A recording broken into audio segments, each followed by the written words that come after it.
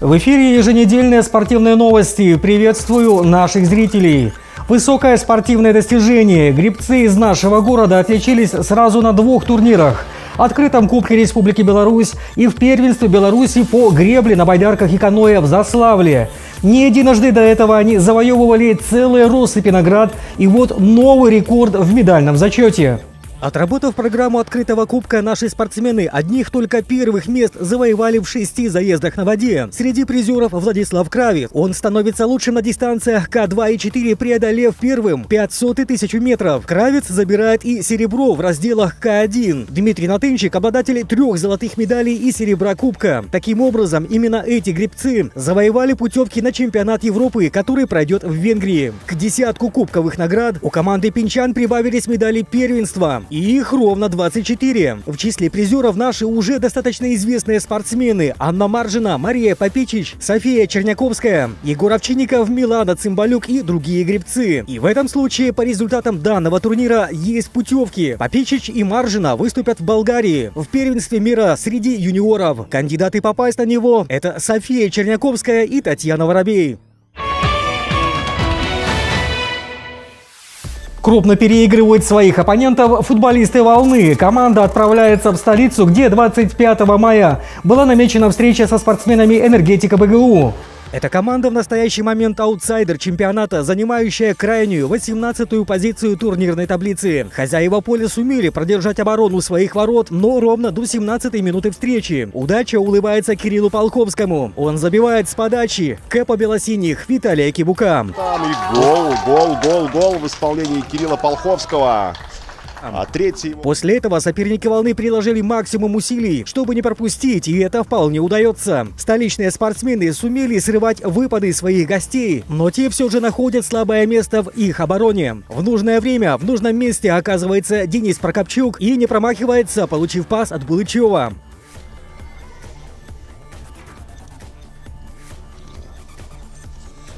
Ох, 2-0. Энергетик БГУ сумел и после перерыва неплохо продержаться в обороне. Но вновь свое мастерство показывает Данил Прокопчук в момент, когда Сыриська успешно исполняет угловой. Не впечатляет. Который сезон подряд. Ну а это 3-0. Пожалуйста. Довольно скоро минчане все же отыгрывают один мяч, но это не спасает их положение. Ткачик выходит на дуэль с голкипером соперника и сходу поражает сетку 1-4 в пользу волны. Не обошлось на поле без жесткости. Денис Клепач пытался перехватить мяч, но получил травму, из-за чего прекратил игру и был отправлен в больницу. По предварительной информации медиков, у нашего форварда возможно повреждение миниска. Так волна увозит домой победу и соблюдает одну из своих традиций. Прямо в раздевалке Даниил Прокопчук Ткачук на правах лучшего игрока матча получает переходящий талисман – морскую бескозырку. Хорошая победа, непростая игра.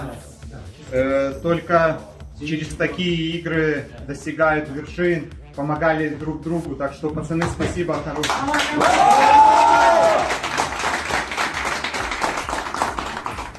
Далее у «Волны» предстоит кубковая встреча. Вновь игра на выезде в Кубрине. И без особой поддержки болельщиков, которой так не хватает нашим футболистам на поле. Можно с ностальгией вспомнить, какой она была еще 10 лет назад, когда фан-сектор морально очень подпитывал «Волну», настраивая на победы.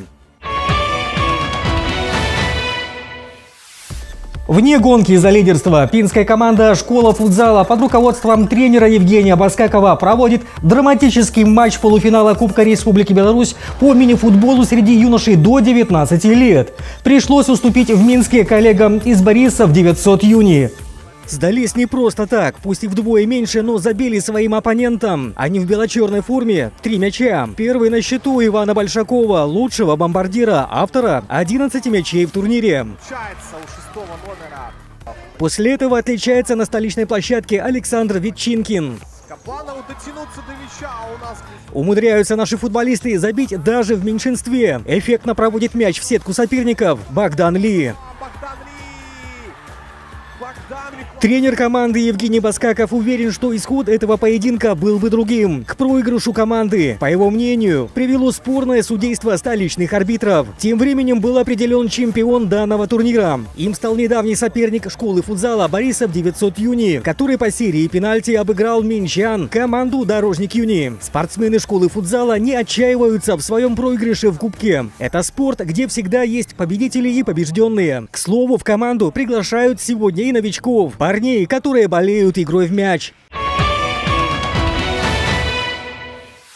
Громит соперника по второй лиге футбольный клуб «Стенлес». Победный третий тур чемпионата. Пинчане позволяют себе забить, но всего единожды уже в первые пять минут встречи. Далее стенлесовцы слабины не дают. До перерыва трижды удачно прорываются к сетке соперников и реализуют мячи. В еще одном случае фиксируется автогол. Здесь гол. Опасный удар. Олег Курган бьет и гол! После перерыва избиения хозяев поля на их же территории продолжается. Вячеслав Зырко – автор пятого мяча в ворота Кречета. И в течение десяти оставшихся минут игры еще дважды отличается Виталий Рушницкий. Где Зырко забивает, Зырко головой. 9 очков и лидерство в турнирной таблице. Таков результат после третьего тура чемпионата у Поддержим наших! Команда Стэнлес приглашает своих болельщиков посетить матч 1-32 финала Кубка Беларуси сезона 2024-25. Игра пройдет 29 мая с представителями футбольного клуба «Молодечно» на стадионе спорткомплекса «Полис-ГУ». Начало матча в 18.30. Вход свободный. На этом завершаем наш спортивный выпуск. До встречи через неделю.